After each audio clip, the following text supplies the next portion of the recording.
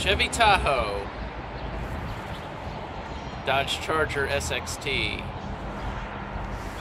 Slight difference in height. We're in front of the hotel here. And I just want to do a quick review on this big friggin' behemoth. It is enormous to say the least. Um, it's even bigger when you put a smart car next to it. Dang, if you were in that smart car and got pegged by this, woo! Good luck, Mr. Canadian. All right. so anyway, why would someone buy a Tahoe or rent it? Well, in my case, I rented it because they didn't have a car available for me, and they gave me this with uh, no increase in price. So I was like, okay. Anyway, see what we got. This is the LT version, so it's got leather. It doesn't normally come with sodas, um, but the seats are pretty comfortable, I'd say. We get to the back seats. I know it's a little dark, but we do have um, tinted friggin' windows. Holy, no wonder why it's so dark. Uh, LED lighting, it's the modern way. Right. Yeah, look at that. Ain't that just uh, slick? We have a fold down screen and a full on uh, set of cables and entertainment back here. A little hard to see. Bins everywhere, containers everywhere. Look at this little one there, little one there, little one there. And of course, the split uh, seat so that side folds, this side folds. so if I wanted to get in the back, I would do something like that. I could climb over it, typical, or perhaps I could, uh, I don't know if I could tumble this. Haven't figured that out. Back seat, it's actually pretty sizable, but the floor is way up here because back axle's here. What do you know?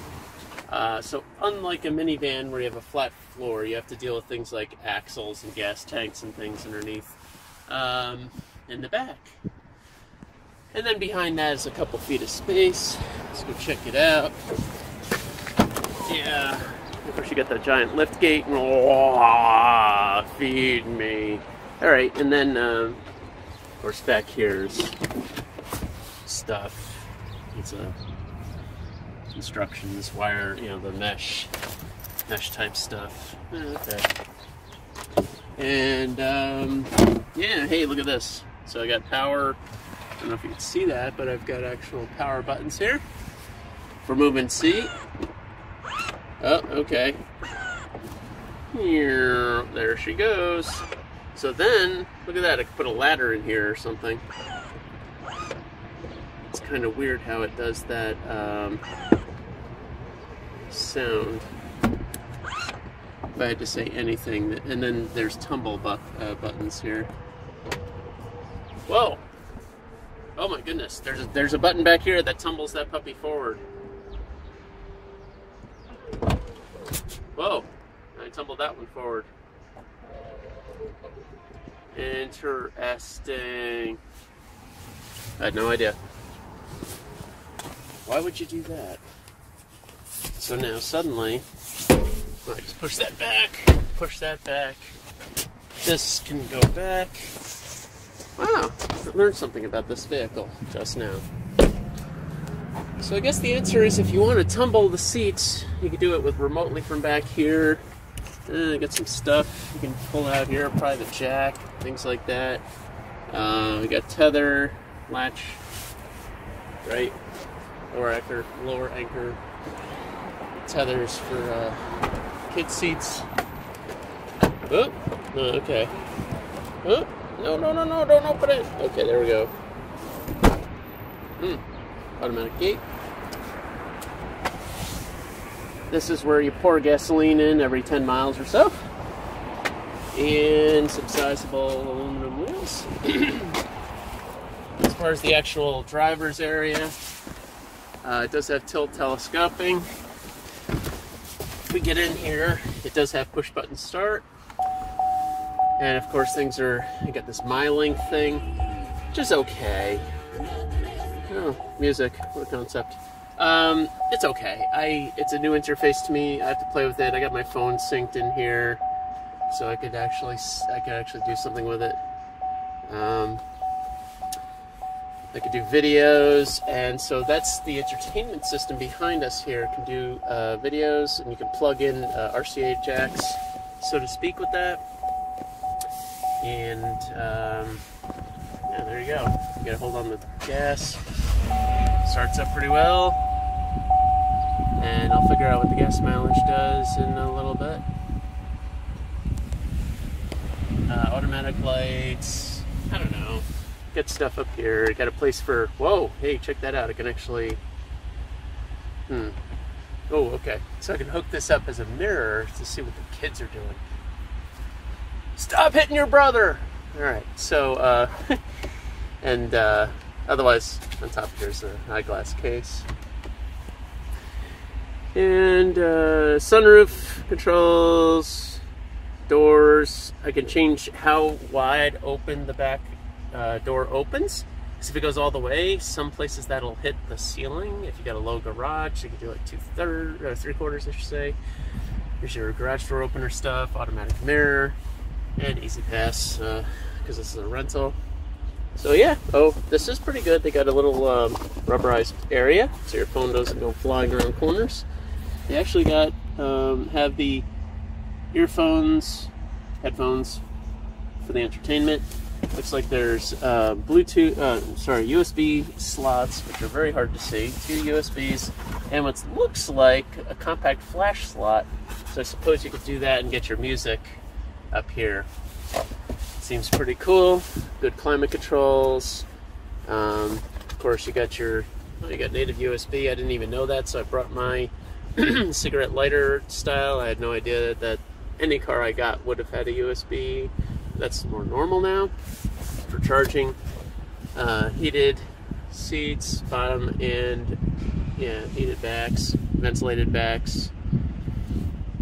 Actually, it's not ventilated backs, my bad, just heated. Because, well, we're in Buffalo, New York, where heated seats would be primo. Uh, it's very quiet, very quiet, that's cool.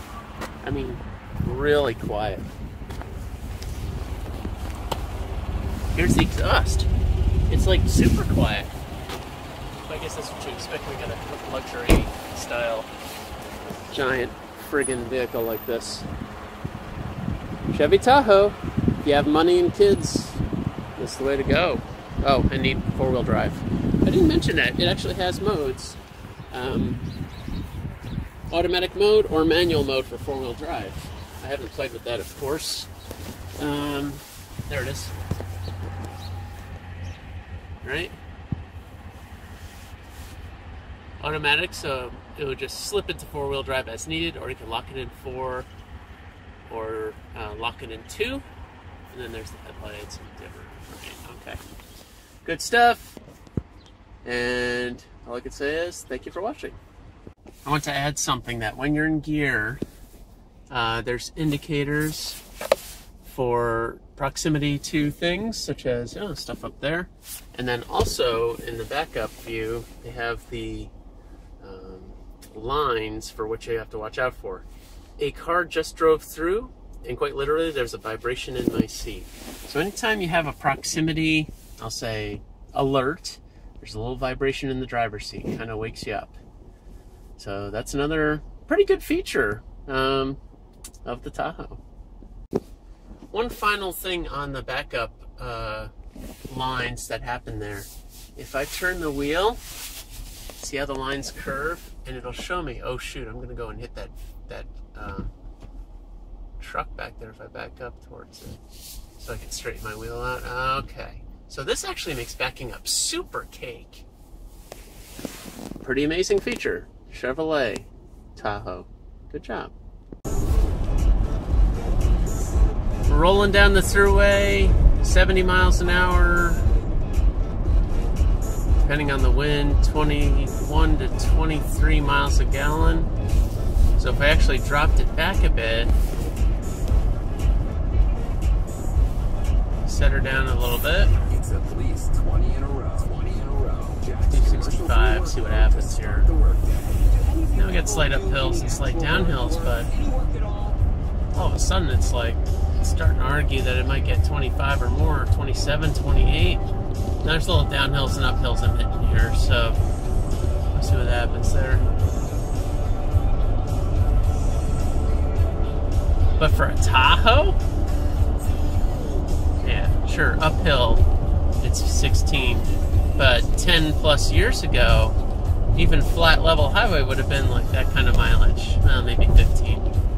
I think this might have the cylinder deactivation, all that kind of fun stuff, right? And of course, the commanding view of the rainy road here. But nevertheless, it's pretty impressive.